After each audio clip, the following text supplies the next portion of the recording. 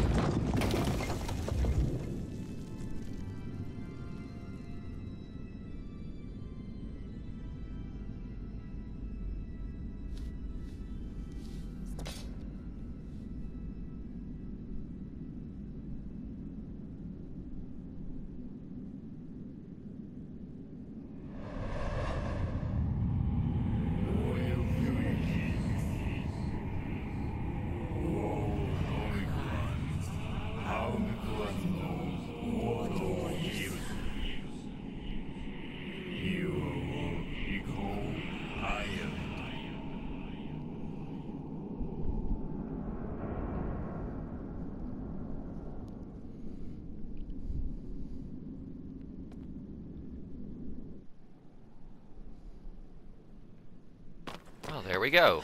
It's episode 13 of Shadow of the Colossus. Um, and I'm going to be going to fight this big thing. And I, when I say big, I mean very big. This is, um, this Colossus is, as far as I can tell, I believe it is the absolute biggest Colossus in the game. Um, which, you know, is obviously worth noting. I guess I should also note that, you know, the game is obviously deciding to sort of introduce a maybe a new character now.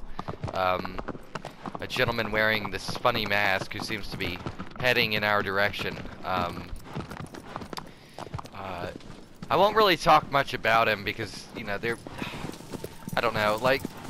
I feel like this game kind of explains itself fairly well without need for um, a bunch of explanations. Uh, but the character in question, that uh, fellow with the mask, uh, his name is Lord Emon. Um, and uh, we'll we'll we'll learn more about him, or at the very least get more out of him um, as the game progresses. Uh, I don't know. I'm kind of running out of things to talk about with this game. I think I've covered quite a bit of the topics I've I've wanted to cover, um, and kind of you know discussed what I felt was worth talking about. But I guess I can kind of talk about... Oh, come on, Agro. Where are we going? I guess I can kind of talk about the Colossus of this episode. Um, now, I believe this is a dead end. But not quite. There's fruit here. Okay. So the Colossus of this episode is kind of... Um, kind of like Avion, um, in that it's not really... Uh, it, it's not it's it's not really aggressive at all. Um, it's uh, it's very much um, passive. It's it, it it barely pays any attention to wander when you uh, arrive at it, and even after you've engaged with it, it still really doesn't uh, pay it pay much attention to you. Um, I don't know. I know this one tends to be a lot of people's favorites, uh, if only because of just the sheer scale of the fight. Um, I think of the fights in the game, I believe it's the one that is most indicative of this idea of, you know, the scale of things. You know, Wander versus the size of these colossi and um, the the well, just the relative size of the Forbidden Land. Uh, it's not necessarily one of my favorites, so I think it's neat, um, but it's also kind of... I don't want to say simple, because that's not really the word I'm looking for. It's just, it's really laid back. There's, there's not, like, there's not a whole lot of room for huge mistakes or anything like that. It, it's, it's more about just sort of the initial experience. It's arguably it's one of the colossi I would argue that it's it's best when when enjoyed for the first time. Um, after you've done it a few times, it, it kind of loses its luster. Um, which incidentally, I can almost say that about anything in this game because that's kind of the that's kind of the trick, I guess, of Swords is that This is like one of the few games I can think of that I really wish I could uh, play it the first time again, if that makes any sense.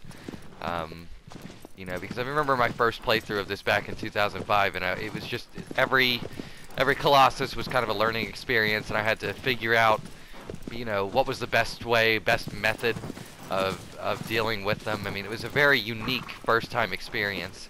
And that's not to say playing it again isn't a isn't a good experience. It's been great. I've been thoroughly enjoying this playthrough, but um, this is one of those games that I feel is more effective on a first playthrough um, than in uh, uh, you know repeated playthroughs. Whoops. No, no, no, no, no. I'm not going this way either. It's actually a path we can take in this little forest area, I'm pretty sure.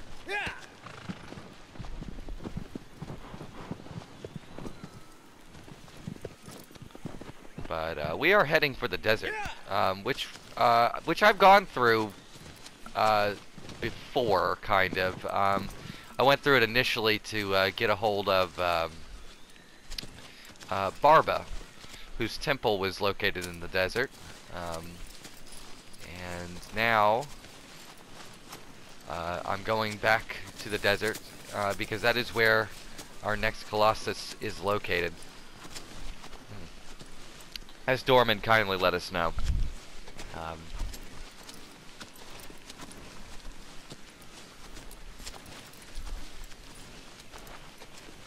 guess I could kind of talk about. I guess I could at least explain the name of the uh, Colossus in general. This uh, this one is going to be called uh, Phalanx. That's the unofficial name, anyways. Um, the uh, developers they referred to it as the Snake, which is fitting, I think. Um, a definitely a fitting name for it. Uh, but as you'll see, it doesn't really it doesn't really function like a snake. It'll look it looks sort of like a snake, but it's not. It doesn't really do things like a snake. Kind of like how Dirge is technically kind of a snake, but not not really the kind of snake you imagine or, or expect. And this one is kind of the same thing. I guess in general, it's just a it's just a large serpent. But again, when I say large, I mean, I mean large. It is very big.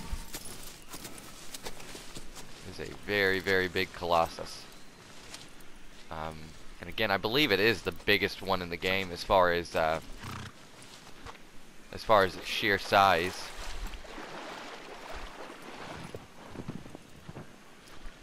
And also, yes, I understand that I'm kind of like seemingly lost, and that is because I am in fact a little lost here. I think I can actually cut through that marsh area over here and get to where I need to go, probably. Uh, also, too, this is going to be yet another Colossus fight that um, requires Agro. Uh, this time, though, Agro is not going to be just a means of dodging projectiles. Agro is actually going to be playing a very active role uh, throughout this fight which is neat. Um, I think that alone is probably why a lot of people particularly like this fight. Um, not just because of its, not just because of the the size and the the um, the spectacle of it, but the you know the fact that Agro does serve a very distinct and valuable purpose in this fight.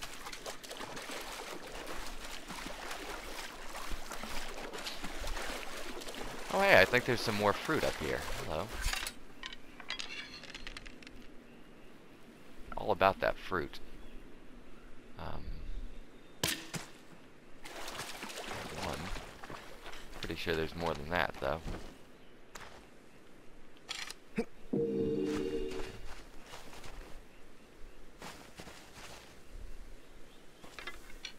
There it is. One right there.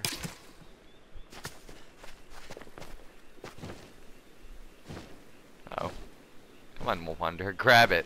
Really? There we go. Is there any more? I don't see any more.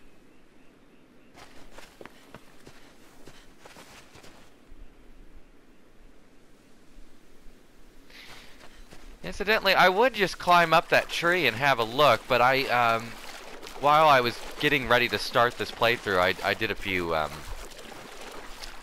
a few simple audio tests and stuff to make sure everything was going to work okay, and uh, I found out that, um, and I certainly was not purposely trying to do this, this is just something that ended up happening.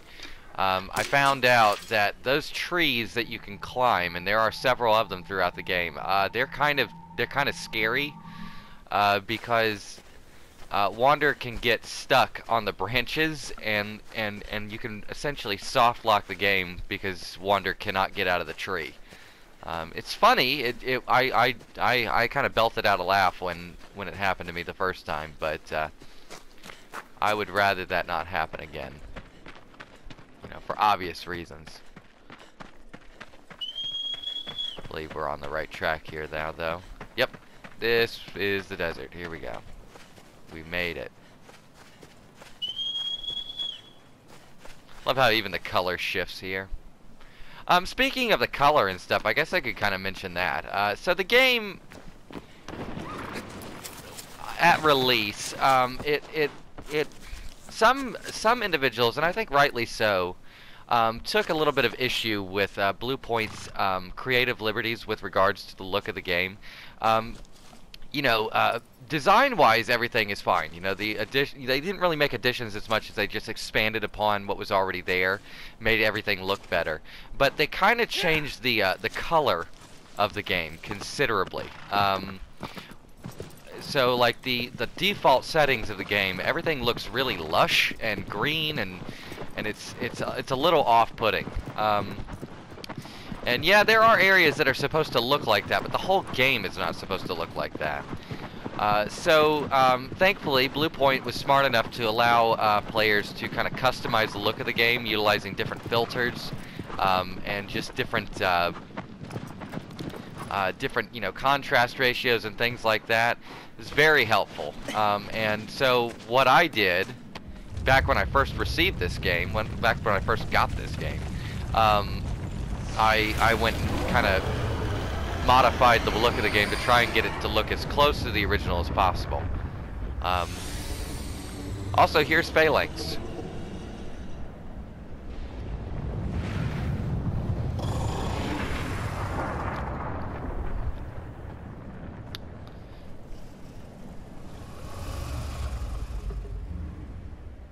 My goodness, look at that damn thing.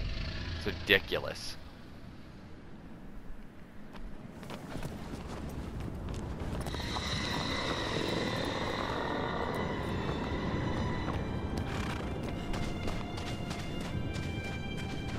Now, of course, you may be wondering, what on earth do you do to get up on here? And, um, admittedly, I remember this fight the first time I played it. I don't remember really having trouble figuring out the trick with this one.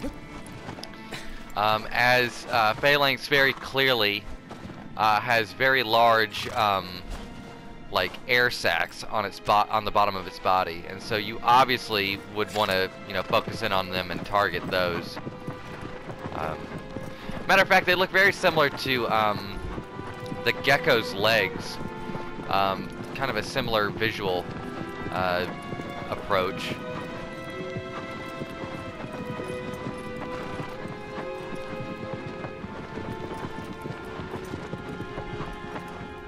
But as you can see, Phalanx is not really active to harm Wander at all.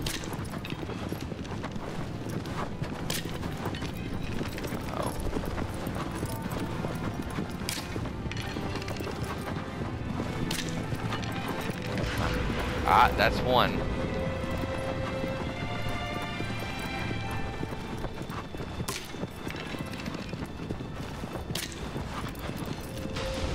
That's two.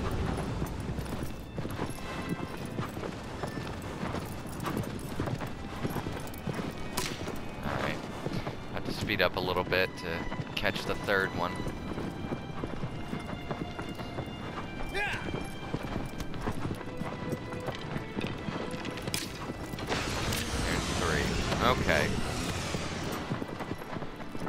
Now comes the neat part. So we've got all three of the air sacs taken out.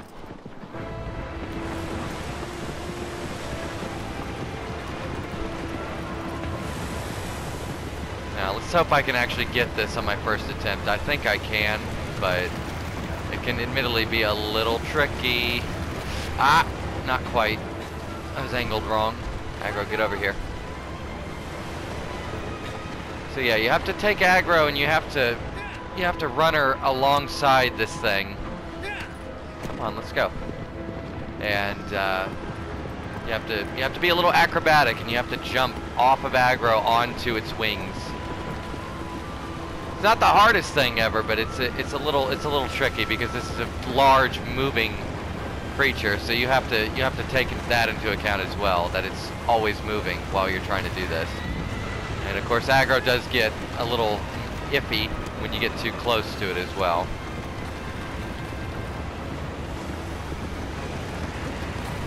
There we go.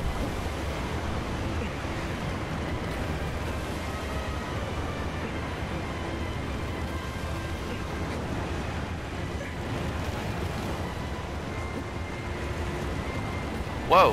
Why isn't he grabbing on? Holy crap. Okay.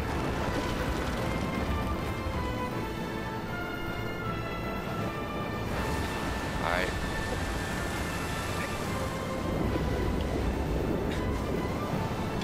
This thing is not very happy that uh, Wander got onto it.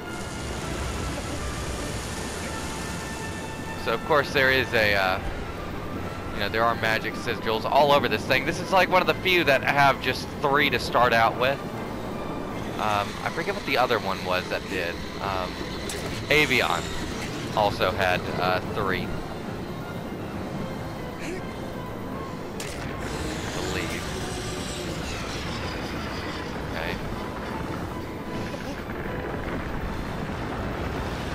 This thing does quite a bit of stuff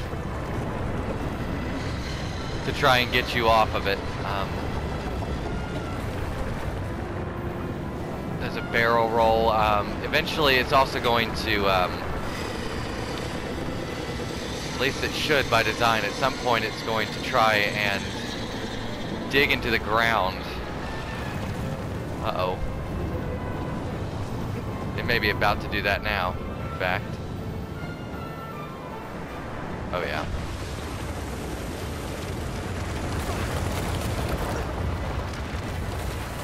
Okay. Whoa. Oh god.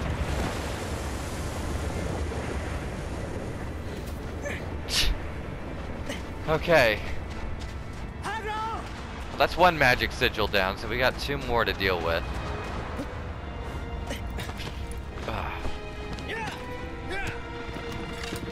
Pull my bow back out.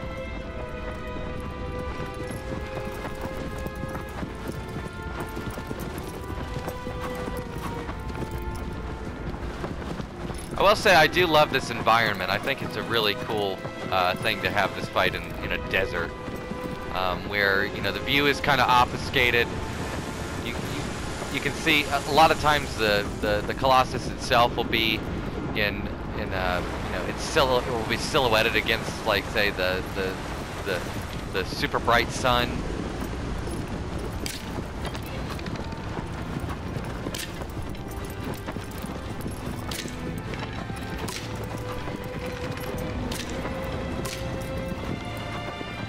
Got it. Yeah. Got one of them. Yeah, the best approach really for the air sacs um, is if you can kind of get, if you can kind of get to the front of Phalanx and then just kind of, yeah, just sort of ride along the bottom uh, from its front to its back. You can you can very easily uh, take out the uh, air sacs without issue. All right, let's try this again.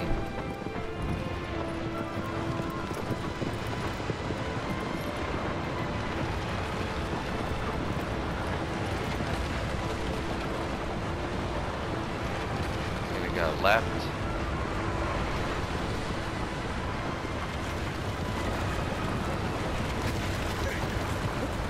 Okay, now I'm like a regular expert on with that, I guess. Go figure.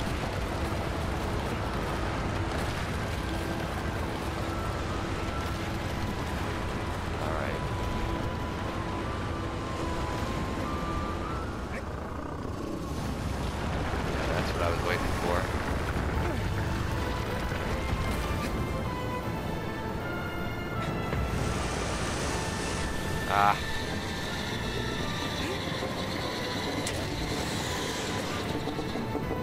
This thing makes some very weird noises too. Uh, very high-pitched squeals. So, again, it's a it's a very different sort of Colossus from the rest. Like it, it clearly has a very different sort of uh, aesthetic going on with it.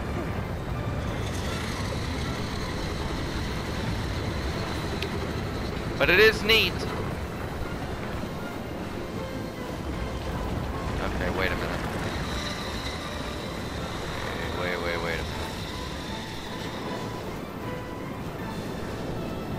So hard to keep up with which dorsal fins are which at this point. Like, I mean, just look at how big this damn thing is. It's ridiculous. Uh, from what I understand, it's basically the width. Its width is like that of a four-lane highway, so you know, do with that what you will. I might as well just hop off. Whoa. Oh, Agro, no! Oh, jeez. Oh, jeez. That's not good. Agro. Sorry about that. Gee whiz, that was not what I meant to do.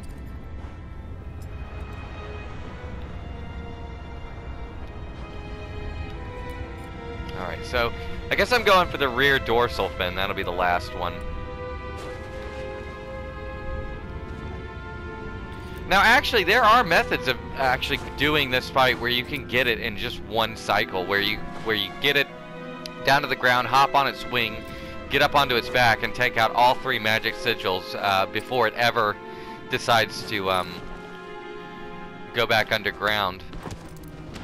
And also too, there's apparently a trick uh, with uh, with the um, with with uh, phalanx going underground is that if you can position yourself correctly underneath one of its dorsal fins as they fold down before it goes under, uh, you can actually go underground with it. Um, I don't think you get anything special as far as like any sort of visual thing. It doesn't stay underground very long, but um, I guess like if you were trying to get through this as fast as possible, that'd be the way to do it. I'm not that good though, so you'll have to forgive me for that.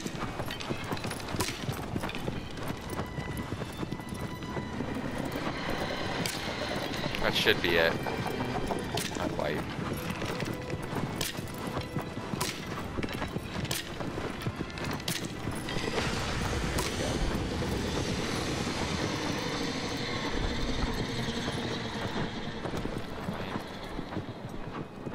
One more time. This should be it.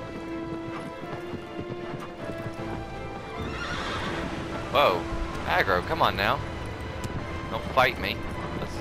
Agro's tired of this, obviously. It's She's not wanting to get anywhere near this thing anymore, and I really can't blame her.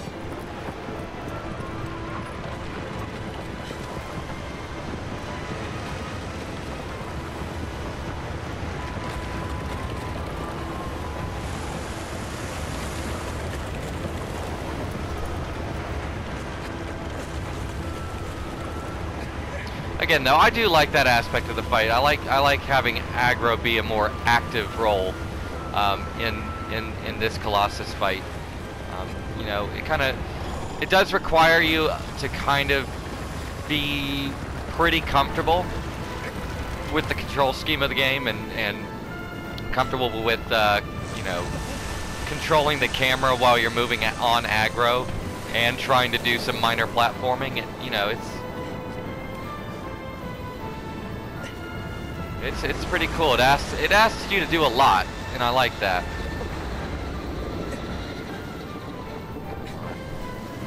Just got to get right down here. I believe this is the dorsal fin you can you can hide under. I think. But that does not matter because this Colossus is now defeated.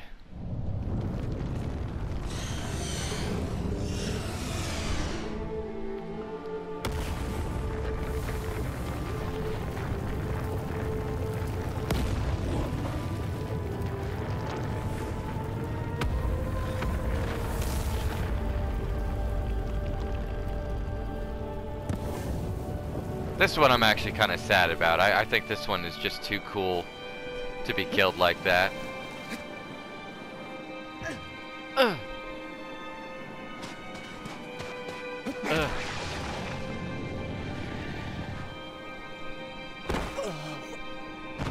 There we go. That's episode 13. Only three more to go, and that's the game, so... Hopefully you've enjoyed it so far. I hope you'll join me for the last three installments of Shadow of the Colossus, and... Uh, yeah. Thanks for watching. Bye-bye.